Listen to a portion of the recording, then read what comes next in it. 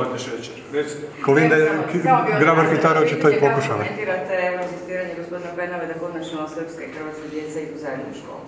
Ne bih se u to htio miješati, kad god sam se miješao nije.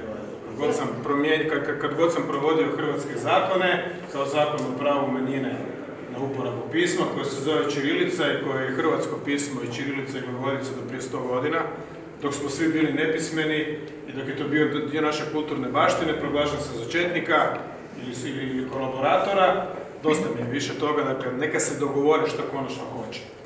Neka se Pupovac i njegova ekipa i tih par tisuća ljudi koji glasuju za njega dogovore šta konačno hoće.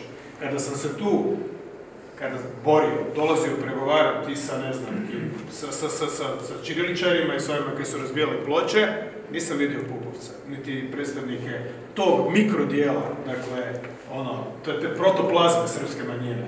Dakle, ma ne, protoplazme, krivi izraz, i nije uvredljiv. Dakle, naprosto neću raditi tuđi posao. Nek se dogovore.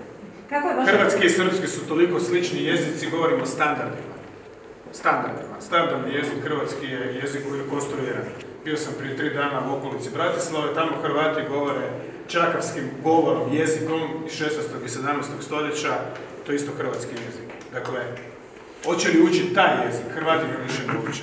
Da nema naših iseljenika, ne bismo ni znali da postoji. Hvala im, čudo su, rade čudo.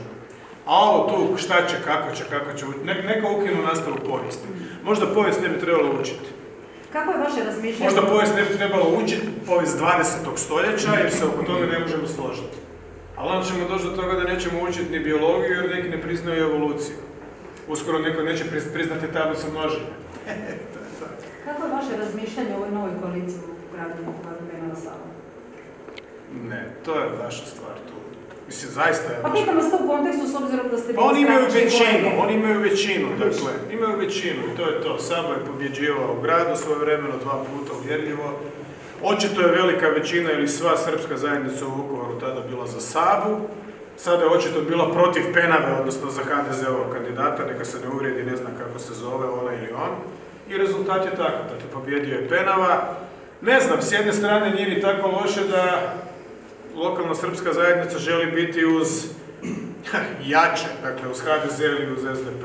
Nije ni to kraj priče. A Penava je opet pobjedio kao neovisni kandidat koji je doduše jučer bio u HDZ-u, sad više nije čestitao sam mu i onak kad razgovarate s njim, on je umjereniji nego što je ja. Ja sam obrnuto, ja sam, ja sam privatno još gledao. Više nego civiliziran došao gospodin Penave u Vukovaru za razliku od onoga u Borovom a, selu prije nekoliko dana kad je, kako ste rekli, načelnik se skrivao iza rolete. Da, i on je to shvatio kao da sam rekao da je snajperist iza roleta. Možda ima zaista prljavu savjest da vam takva asocijacija prsne pred očima. Ja na to nisam mislio, nego sam mislio naprosto da je običan skrivač. Jer me nije htio primiti. Dakle, mi ga nismo zvali preko medija. Nego smo- Polu, ajde, nikad nije privatno. Ali to je tako jedna smiješna epizoda i nadam se da neće školu nazvati kao veseli dušoškočanima, ne? Možda hoće bazen za nove plivače.